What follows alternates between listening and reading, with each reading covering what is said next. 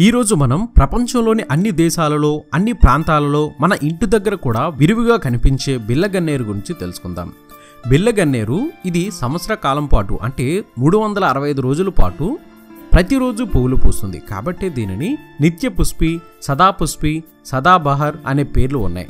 దీని శాస్త్రీయ నామం విన్సా రోషియా. ఇంగ్లీష్లో దీనిని మడాస్కర్ రోజ్ పెరివింకల్ అని పిలుస్తారు. క్యాన్సర్ వ్యాధి బాధితులకు క్యాన్సర్ వ్యాధి వచ్చే అవకాశం ఉందని భయపడే వారికి ఇది శ్రీరామ రక్ష లాంటిది.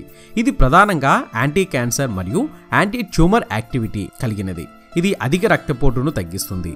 ముక్కు నుంచి రక్తం కారడం దంతాల చిగుల్లో రక్తం కారడం నోట్లో పుండు పడటం మరియు గొంతు రాసుకుపోవడం లాంటిదాన్ని సమర్థవంతంగా నివారిస్తుంది. ఆధునిక వైద్య విధానం అల్లోపతిలో క్యాన్సర్ చికిత్సలో వాడే వింకా ఆల్కోలైడ్స్ ఈ మొక్క నుంచి సేకరిస్తారు. ఇంతటి ప్రాధాన్యత కలిగిన ఈ మొక్కను మన ఇంటి సమీపంలో ఎవరు నాటుకున్నా వాటంతట అవే విరివిగా పెరుగుతుంటాయి. మనమంతా దీని విలువను గుర్తించి దీనికి సరైన గౌరవం ఇవ్వాల్సిన అవసరం ఎంతైనా ఉంది. బిల్లగన్నేరులో చాలా రకాల పూలు పూచే రకాలు ఉన్నాయి. వీటన్నిటిలో తెలుపు మరియు పింక్ కలర్ చెట్లు ఔషధ ఉపయోగమైనవి. ఇక ఈ మొక్క యొక్క ఉపయోగాల గురించి మనం తెలుసుకుందాం. బిల్లగన్నేరు మొక్క ఆకులు కొని తీసుకుని బాగా నలిపి పేస్ట్లా చేయాలి. దాన్ని గాయాలు పుండ్లపై రాయాలి. దీంతో అవి వెంటనే తగ్గుముఖం పడతాయి.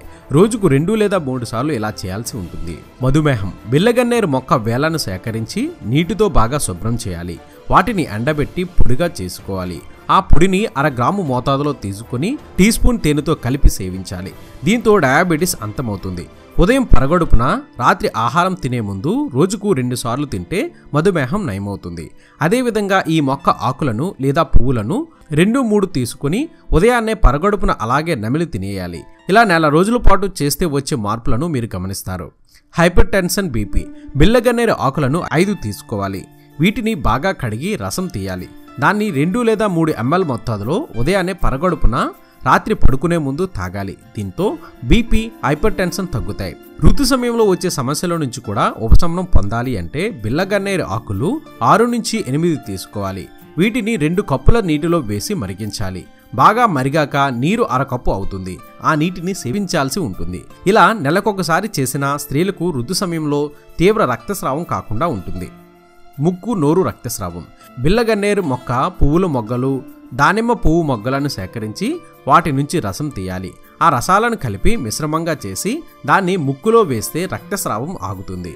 నోట్లో వేస్తే నోటి నుంచి వచ్చే రక్తస్రావం ఆగుతుంది. ఇలా చేయడం వల్ల నోట్లో ఉండే పుండ్లు తగ్గుతాయి. పురుగులు కీటకాలు కుట్టిన చోట ఎర్రగా కంది దద్దుర్లు వస్తాయి. దురద పెడుతుంది.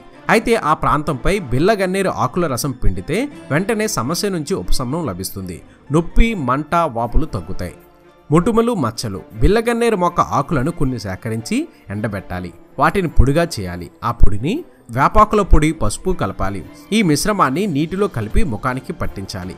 కొంతసేపటి తర్వాత కడిగి వేయాలి. ఇలా తరచూ చేస్తుంటే ముఖంపై ఉండే మొటుమలు మచ్చలు పోయి ముఖం కాంతివంతంగా మృదువుగా మారుతుంది. బిల్లగన్నేరు ఆకుల రసంతో పాటు వేళ్ళను ఎండబెట్టి తయారు చేసుకున్న పొడితో డికాషన్ కాచి రోజు తాగుతుంటే క్యాన్సర్ తగ్గుతుంది. ఎలాంటి క్యాన్సర్ అయినా తగ్గించుకోగల గుణాలు ఇందులో ఉన్నాయని సైంటిస్టులు చెప్తున్నారు. వీటిలో ఉండే పవర్ఫుల్ యాంటీ ఆక్సిడెంట్లు క్యాన్సర్ కణాల వృద్ధిని అడ్డుకుంటాయి. దీంతో క్యాన్సర్లు తగ్గుముఖం పడతాయి. ఈ మొక్క ఆకులు లేదా పువ్వుల రసాన్ని రోజు తీసుకుంటుంటే డిప్రెషన్ పోతుంది ఆందోళన ఒత్తిడి తగ్గుతాయి. నిద్ర చక్కగా పడుతుంది మానసిక సమస్యలు పోతాయి.